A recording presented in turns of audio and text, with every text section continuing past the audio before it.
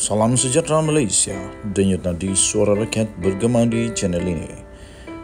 Jangan lupa tekan butang subscribe, like dan share. Malaysia kita punya, cintai Malaysia ku, kita jaga kita.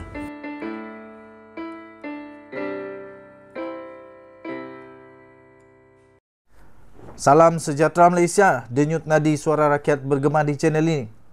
Baru sebentar tadi kita terima satu lagi ketirisan sebanyak 10 bilion kali ini. Lebih memengsankan, lebih teruk lagi kali ini. 10 bilion subsidi. Tiris lagi. Nampaknya pendedahan demi pendedahan tentang ketirisan penyalahgunaan kuasa dan banyak lagi yang tak betul semakin berleluasa semakin menonjol-nonjol. Dan ramai penganalisis ekonomi dan politik berkata akan ada lebih banyak lagi pendedahan berkaitan dengan ketirisan penyalahgunaan yang terjadi sebelum ini. Adakah pendedahan ini salah Anwar? Ramai sangat yang meroyan sekarang didedahkan sejak kesalahan Anwar. Anwar pendendam lah, apalah. Yang kamu buat apa hal? Kalau kamu tidak buat, tidak masalah. Yang tidak buat, jangan takut. Kalau kamu takut, maksudnya kamu ada buat. Yang kamu marah, kenapa? Kalau tidak ada masalah, tak pernah buat, sepatutnya Saman sajalah Anwar. Saman saja SPRM. Saman pihak berkuasa yang mendedahkan perkara yang tak ada itu. Tapi kalau ada, memang patut pun kamu takut. Terbaru ini tuan-tuan, ketirisan 10 bilion ringgit Malaysia. Subsidi diesel. KPDN sedia bekerjasama siasatan SPRM dan PDRM. Kita nantikan siapakah jerung pada ketika ini pada pada pada kes kali ini. Kementerian Perdagangan Dalam Negeri dan Kos Sara Hidup atau KPDN disahkan bersedia untuk bekerjasama dengan Suruhanjaya Pencegahan Rasuah Malaysia SPRM atau Polis Diraja Malaysia PDRM bagi menjalankan siasatan sewajarnya berhubung isu ketirisan subsidi diesel hampir 10 bilion ringgit Malaysia. Menterinya iaitu Datuk Seri Salahuddin Ayub berkata, tindakan itu perlu dibuat sekiranya siasatan dalaman dijalankan pihaknya mendapati terdapat kesalahan yang bertentangan dengan undang-undang telah berlaku sebelum ini.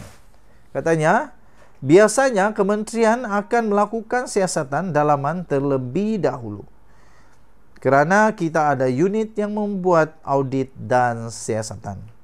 Katanya, namun siasatan sekiranya isu itu serius dan kita temui memang ada pelanggaran undang-undang, kita sah tidak akan keberatan untuk menyerahkan kes itu kepada polis atau SPRM katanya.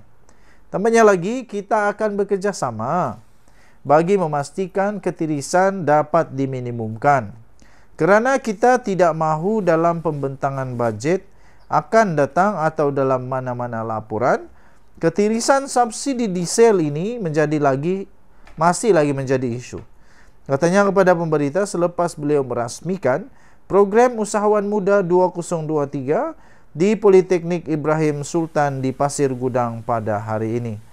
Beliau berkata, KPDN akan bekerjasama dengan agensi lain dan kementerian lain termasuk Kementerian Pertanian dan Keterjaminan Makanan serta Lembaga Kemajuan Ikan Malaysia LKIM yang berperanan melanyalur dan mengawal subsidi diesel kepada nelayan.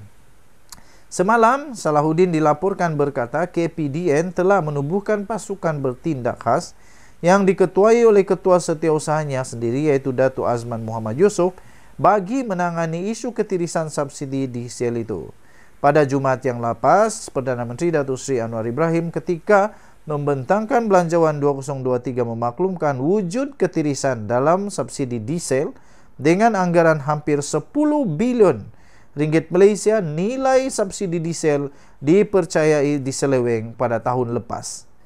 tahun lepas siapa kerajaan pada ketika itu, siapa Perdana Menteri, siapa berkuasa pada ketika itu. Sila jawab. Mengulas inisiatif Rahma pula Salahuddin yang juga ahli Parlimen Pulai memaklumkan pelaksanaan program yang dijayakan KPDN itu tidak melibatkan sebarang dana awam.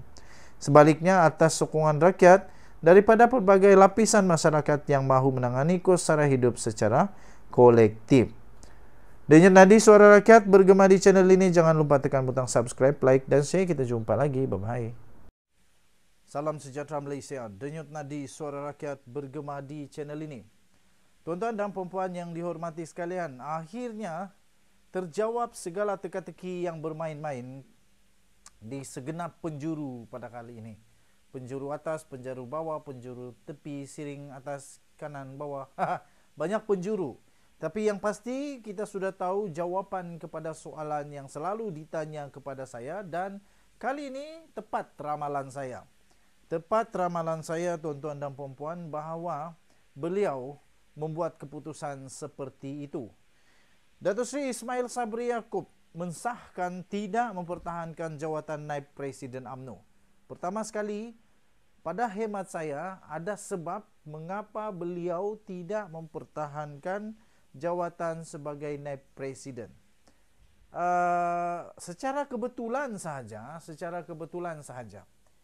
Uh, mungkin ia, mungkin tidak, tetapi hanya secara kebetulan yang kita ketahui ialah pada ketika Datuk Seri Anwar Ibrahim mau dilantik sebagai Perdana Menteri dan pada ketika itu ada kemelut politik yang berlaku di dalam AMNO khususnya ada yang menyokong supaya menyokong Anwar Ibrahim dan ada pula yang tidak menyokong. Secara terang-terangan yang tidak menyokong ialah Datuk Seri Hishamuddin Tun Hussein dan Datuk Seri Ismail Sabri Yaakob.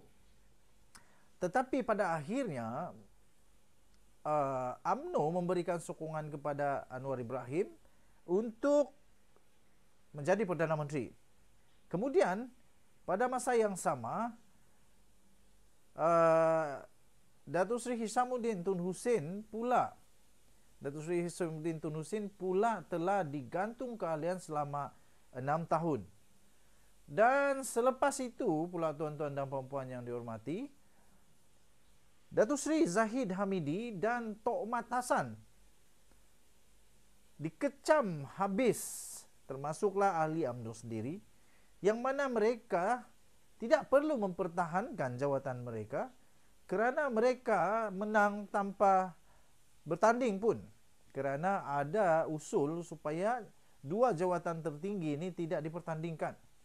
Pada ketika itu terdapat juga suara-suara sinis daripada Ismail Sabri Yaakob berkaitan perkara itu.